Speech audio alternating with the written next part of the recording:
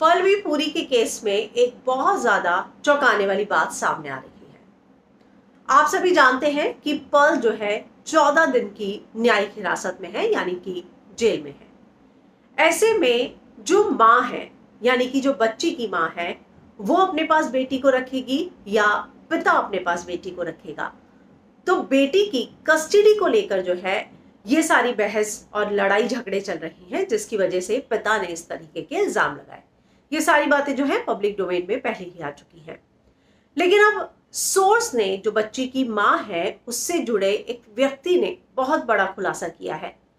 और ये खुलासा है कि अगर पुलिस ये कहती है कि उनके पास पर्ल के खिलाफ सबूत है तो बच्चे की माँ का कहना है कि मुझे उन सबूतों के बारे में कोई जानकारी नहीं है। यहाँ तक कि दो साल पहले जैसे ही ये बात पता चली, जो मेडिकल टेस्ट बच्ची का हुआ था जब मेडिकल टेस्ट हुआ, उस दौरान जो है, पिता और पुलिस दोनों मौजूद थे। उस मेडिकल रिपोर्ट को भी इस बच्ची की माँ के हाथ में नहीं सौंपा गया है।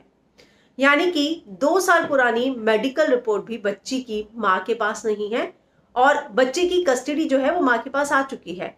लेकिन उसके बावजूद पिता ये चाहता है कि बच्ची की कस्टडी उसके पास वापस आ जाए और इसीलिए इस तरह के इल्ज़ाम लगाए जा रहे हैं।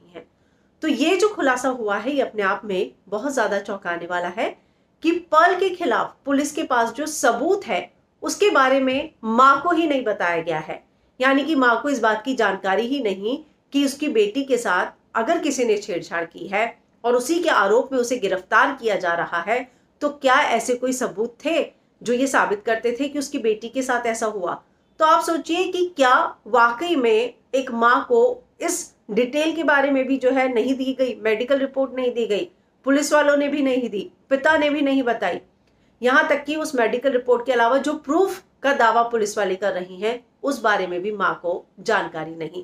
और वाकई में ये बात जो है अपने आप में काफ़ी ज़्यादा चौंका देने वाली है।